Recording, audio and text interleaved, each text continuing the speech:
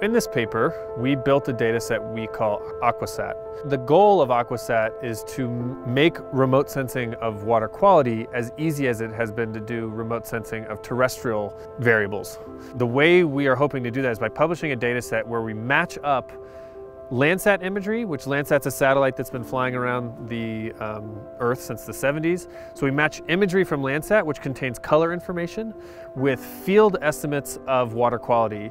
And those field estimates come from a federal water quality portal, which integrates uh, state, municipal, and federal water quality efforts led by people like the USGS and the EPA. When you combine those two data sets, what you get is uh, color information from a satellite, so image information, and you also get the exact um, sort of quantity of a, of a optically relevant metric, so something that gives color to the water. So that would be something like sediment or carbon.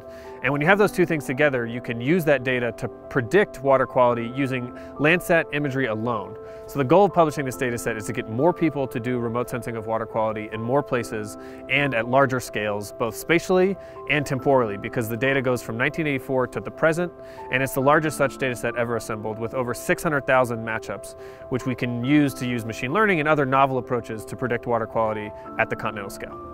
And so we hope by publishing this data set, everyone can work on the same thing and we can really make progress as a whole field rather than having individual little islands of progress that don't necessarily meet up.